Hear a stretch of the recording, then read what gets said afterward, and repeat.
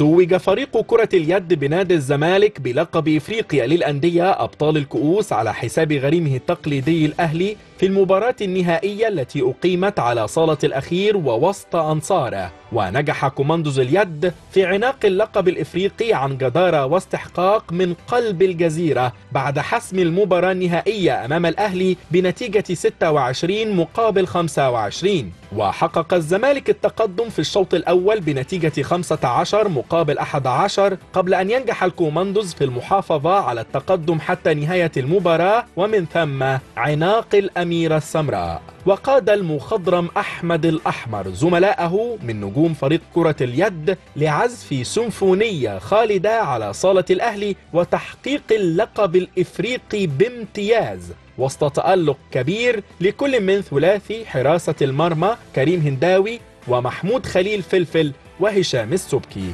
وكذلك باقي نجوم وعناصر الفريق محمد رمضان هتلر وأكرم يسري وحسن أداح ولوكا ومودي وحازم ممدوح ومصطفى بشير وحماصة وعمر الفولي ومحمد مجدي وعلي هشام نصر وأحمد مؤمن صفا دودو وعمر الوكيل بكار وخالد وليد وشادي خليل وبقيادة فنية مميزة لأحمد رمضان هتلر المدير الفني وحمادة عبد الباري مدير الجهاز. وجنى أحمد مرتضى منصور عضو مجلس إدارة نادي الزمالك والمشرف العام على ألعاب الصالات ثمار جهده المبذول على مدار الموسم بتتويج جديد لكرة الصالات بالقلعة البيضاء وبمذاق خاص على حساب الغريم التقليدي على ملعبه ووسط أنصاره. كوماندوز اليد رجالة بجد وأبطال فوق العادة.